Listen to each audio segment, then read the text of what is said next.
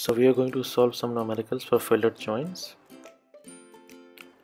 So for this example number one, we are given uh, a fillet weld and we are required to calculate the minimum effective length L to apply a maximum load of 12 tons on member that has been welded by a side fillet welding. So 15 millimeter size as shown in figure. Supposing that the allowable shear stress is to be 8 kg per millimeter square and the effective bending is to be neglected, calculate the minimum effective weld length.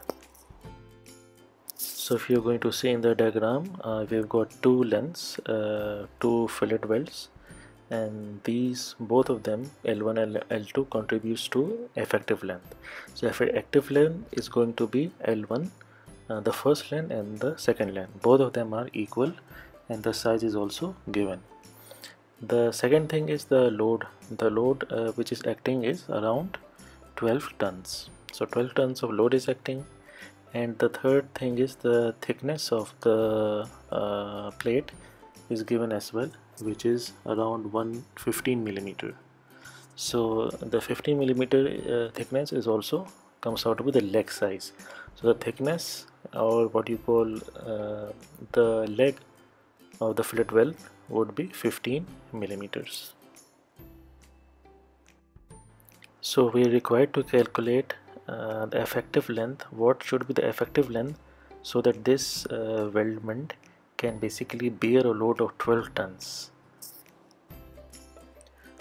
So what are the formulas which we are going to use for this uh, numerical?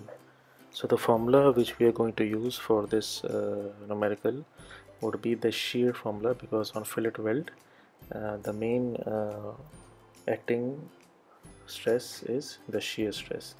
And the formula for shear stress is equals to tau is equals to load p whole divided by the summation of all throats and all lengths.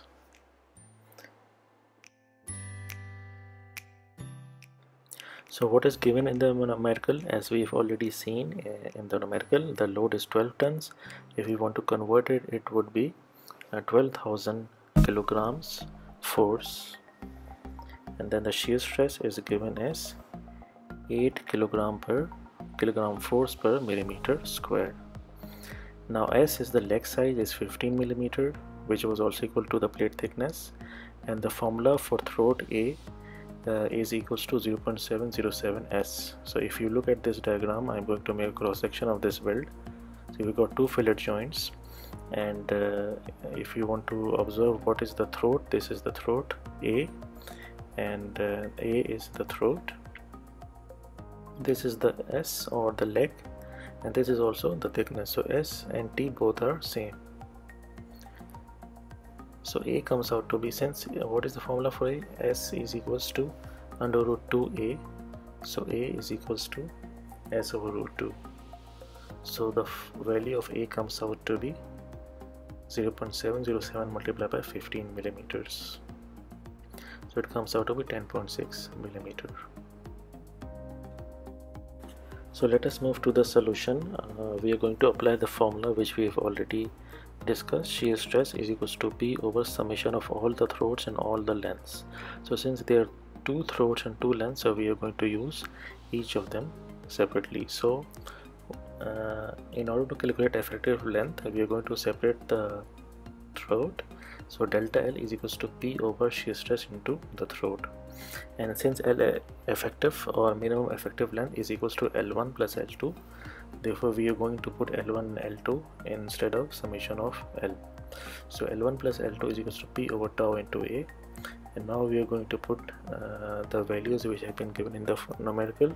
So 2l l1 and, and once again l1 and l2 are equal as well. So if you look in the diagram both effective lengths are equal.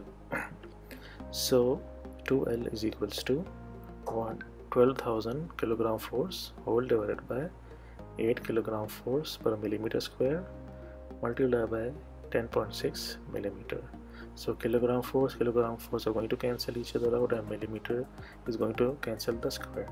So 2l comes out to be 141.5 and l comes out to be 70.8 so roughly it equals to 71 millimeter. So this is the mean effective length of our joint.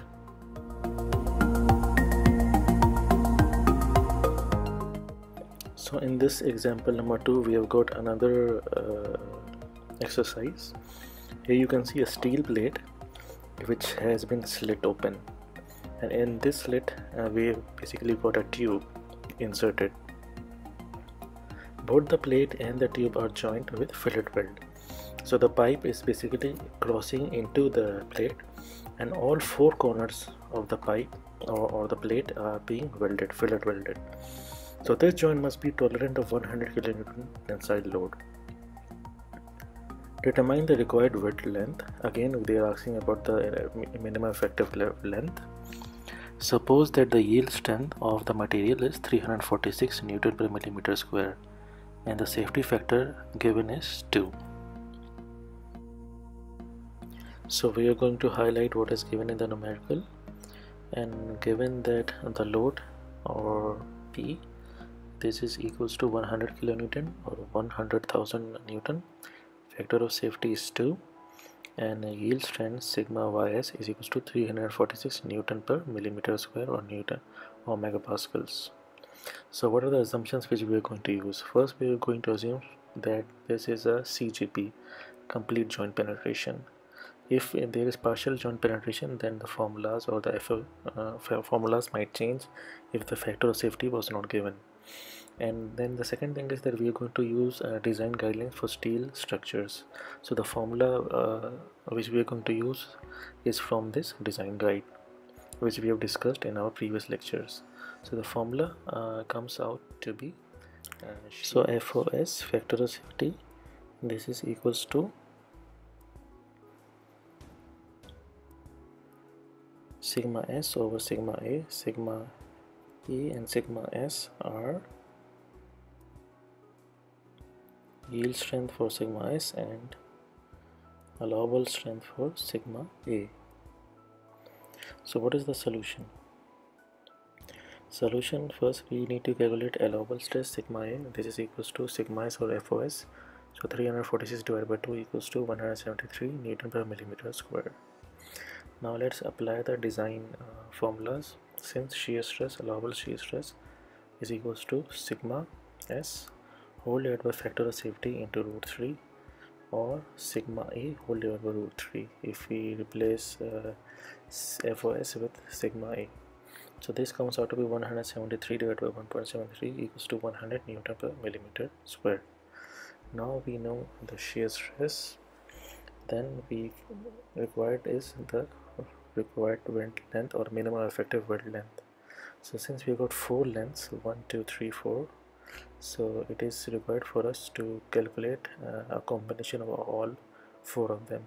So we got L1 L2 L3 and L4 and as so uh, L1 L2 L3 L4 are equal as it is shown in the welding symbol where we've got two triangles on both sides and then the four uh, or what we call the throat uh, leg size is also given for all four welds.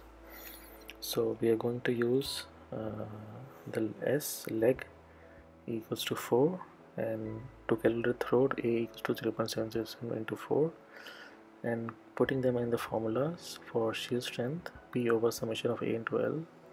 So we get 0.707 into 4 multiplied by length into 4 uh, the reason why we are using 4 is because we have got 4 paths. Multiplied by 100 this is the shear strength this is equals to uh, the load which we are given as well. So the effective length L comes 89 millimeters. So this is your answer